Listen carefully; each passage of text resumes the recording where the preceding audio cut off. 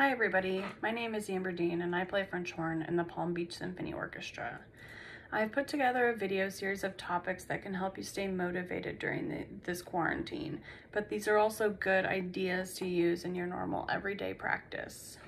In this first video, we won't even need our horns, so I'm gonna go ahead and put mine down. But there's something that we, more important that we must warm up first, and those are our lungs. In order to do this, we need to do some breathing exercises, and you might ask, why do breathing exercises? Why not just start warming up? Well, these breathing exercises will help you release any tension that you might have in your body. And also, it's a good idea to get air moving through your lungs before you actually start playing the horn. So now on to the exercises. The first exercise we're gonna do, we're gonna breathe in for four counts and breathe out for four counts. Here's some things you should pay attention to. You always wanna be sitting straight. And also you do not want to have your shoulders tense or raised. So make sure you're very relaxed and seated straight up. So like I said, the first exercise, we're gonna inhale for four, exhale for four, and I'll count us off. One, two, three, four.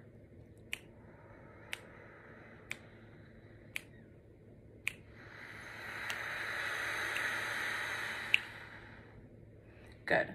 So when you're breathing in, when you're inhaling and exhaling, try to make sure that each inhale and exhale is controlled. For example, you don't want to take in most of your air in the first two beats. You want to take in an even amount of air for four beats, and you want to exhale an even amount of air for four beats. So let's try one more time. One, two, three, four.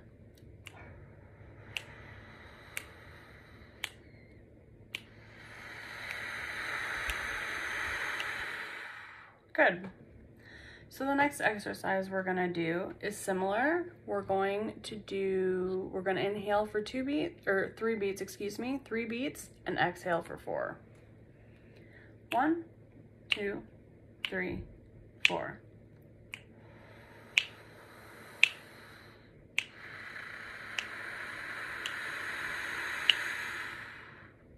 Good. One more time. One, two, three, four.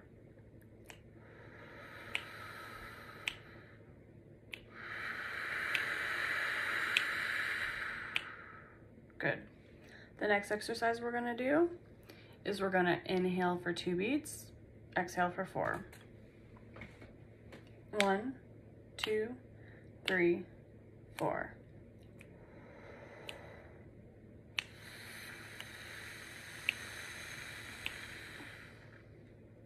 One more time.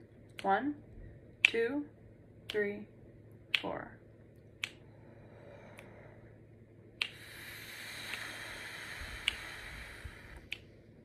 Good. And make sure that each time you're cutting off a beat of your inhale, you're still inhaling the same amount of air as you did in four beats, even though you're doing it in three or two beats. Or like the next exercise, we're gonna take just one beat of air in. So make sure that each time you're still taking in the same amount of air as, as if it were four. So the last exercise we're gonna do is we're gonna breathe in for one, and then we'll breathe out for four. One, two, three, four.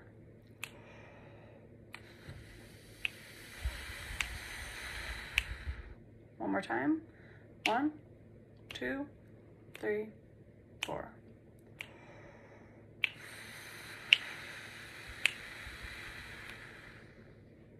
Good. And you continue, you can continue to do exercises like this. You can breathe in for four, out for five, breathe in for three, out for five, breathe in for two, out for five, breathe in for one, out for five. Um, or you can, you can keep extending it. You can breathe out for five or six or seven or even eight beats if you want. And I recommend once you feel like you're doing a good job with these to expand so these exercises can be used in many situations. I like to do these breathing exercises in the morning before I play for the first time. It helps me to feel ready to start playing. I feel like my lungs are open, but it also helps me feel very relaxed. And that's important for me before I start because that will help me have a much more stable practice. Also, I think a good, um, another good time to use these exercises is before a performance, especially if you're feeling any performance anxiety.